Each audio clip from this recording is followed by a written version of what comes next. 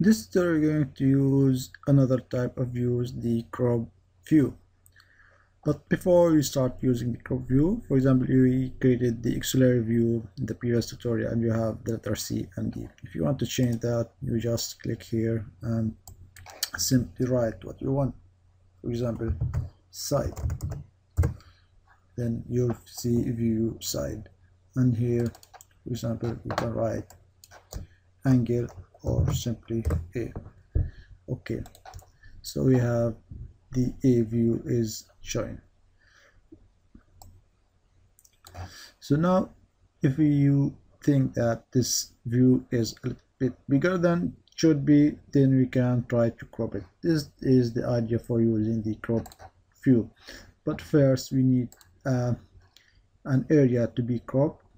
For example this view is intersecting with this dimension so we can try to make it smaller. You can use this rectangle and create center rectangle or make a so can make that angle. Can try to make it smaller to the area you wanted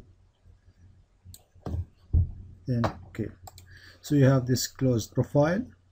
This rectangle go to view crop view. So now your view is cropped according to the area you selected. So when you are done rebuild. You have this icon here. Rebuild. View part.